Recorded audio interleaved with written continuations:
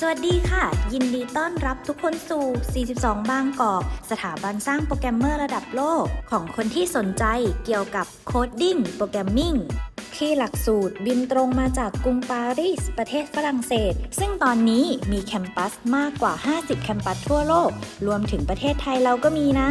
คือ 42 Bangkok อยู่ที่สถาบันเทคโนโลยีพระจอมเกล้าเจ้าคุณทหารลาดกระบัง จังหวัดกรุงเทพมหานคร หลังจากเราก่อตั้งมาเป็นเวลา 4 ปี ตอนนี้เรามีคนจบคอมมอนคอร์หรือความรู้พื้นฐานที่พร้อมเข้าสู่ตลาดแรงงานของโลก และนี่คือโฉมหน้าของคนเก่งของเราที่เราภูมิใจสุดๆ เดี๋ยวเราจะมาทำความรู้จักกับพวกเขากันเลยดีกว่า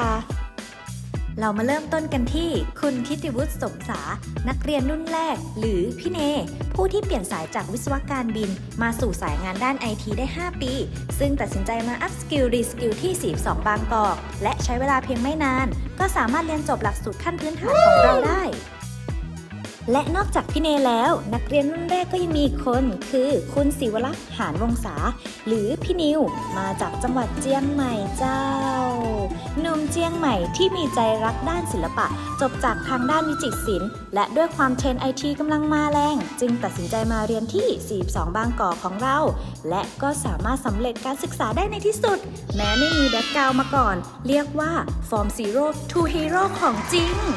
ไปที่คนที่ 3 มิสเตอร์อันเดรบอสเซอร์คนนี้เขาทำงานสายไอทีอยู่ที่ออสเตรเลีย แต่ด้วยความรักนำพาตัวเองมาอยู่ที่ประเทศไทย เลยมีโอกาสมาเสริมทักษะที่ 42 Bangkok จนสำเร็จการศึกษาไปอีกหนึ่งคน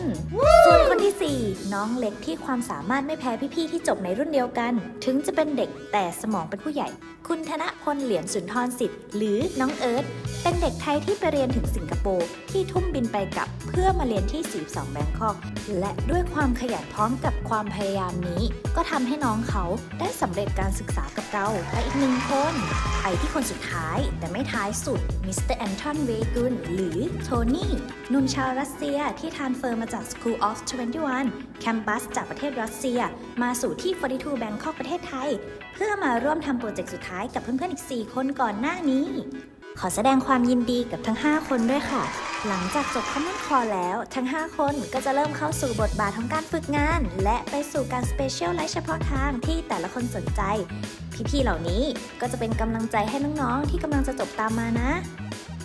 และนี่คือก้าวแรกของความสำเร็จของ42 Bangkok